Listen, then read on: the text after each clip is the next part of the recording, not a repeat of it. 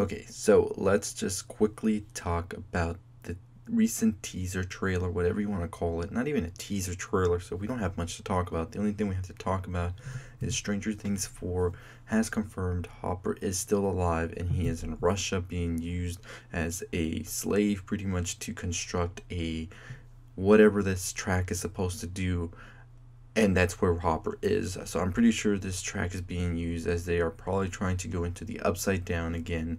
But now we for sure know that Hopper is in Russia. He is alive. And this was already confirmed semi by the after credits scene that we got at the end of season four when they said the American, how is he?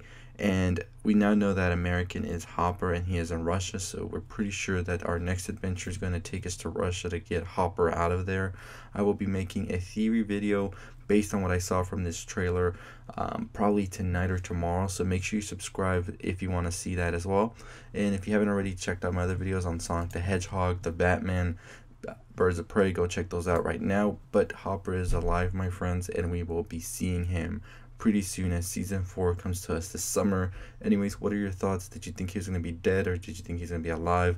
Let me know in the comments below. What do you think this new season is going to hold and what do you think they're building exactly here in this uh, teaser?